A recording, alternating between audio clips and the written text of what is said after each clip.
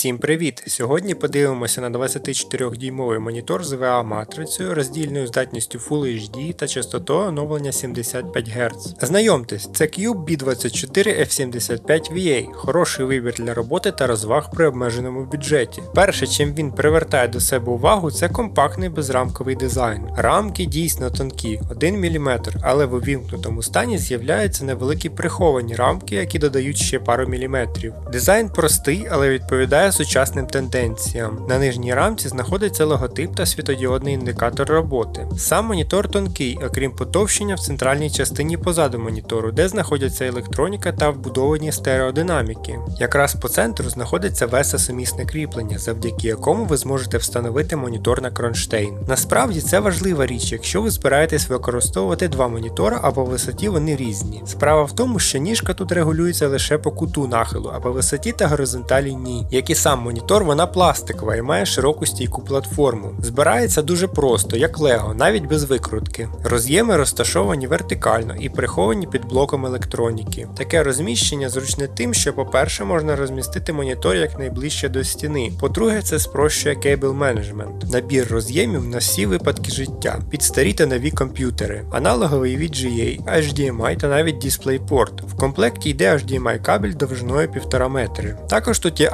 аудіоінтерфейси на вхід та вихід на навушники. Це для того, аби вбудовані колонки працювали із аналоговим VGA, який сам по собі не передає звук. Роз'єм живлення маленький, а сам блок живлення виконаний в вигляді блок вилки. На відміну від баласних блоків, цей зручний тим, що не потрібно думати, куди дівати блок посередині кабелю, але для нього потрібно більше вільного місця коло розетки. Із органів управління джойстик, який зручно розташований під праву руку. Навігація по меню дещо не очевидна на перший погляд, але швидко звикаєш. Саме меню просте та зручне, і з коробки вже на українській мові. Його можна розташувати поближче до джойстика для зручності. Тут є пресети налаштувань для таких типових занять, як серфінг в інтернеті, гра та перегляд фільму. Ви одразу бачите, як змінюються ці параметри в залежно від обраного пресету. Самостійно ж налаштувати яскравість та контраст можна в режимі стандарт. Також є так зване динамічне регулювання яскравості та контрасту в залежності від картинки. Можна увімкнути прискорення матриці або його частіше називають overdrive.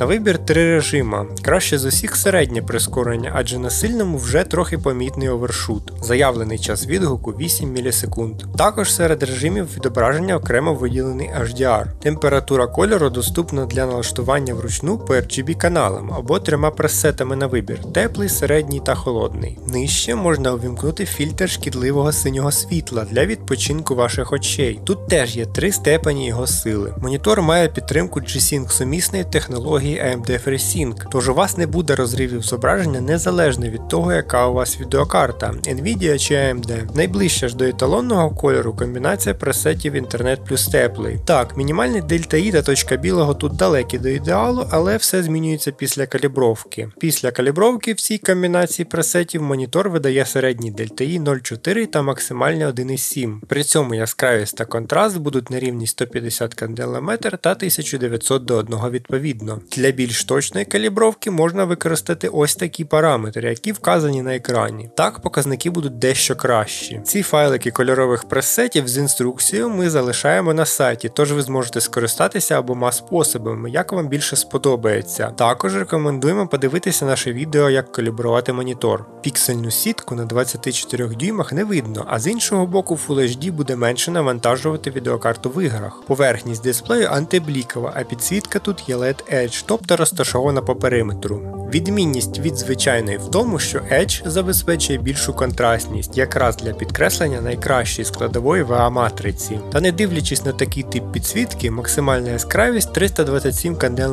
судячи з таблиці звіту колориметра. Максимальний контраст тут на рівні 3000 до 1.